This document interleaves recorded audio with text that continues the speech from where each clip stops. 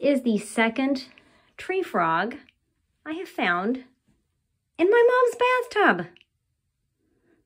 We have a frog infestation. Hey, buddy. He's about to get released outside. Anyway, look how cute you are. An exceptionally cute little frog.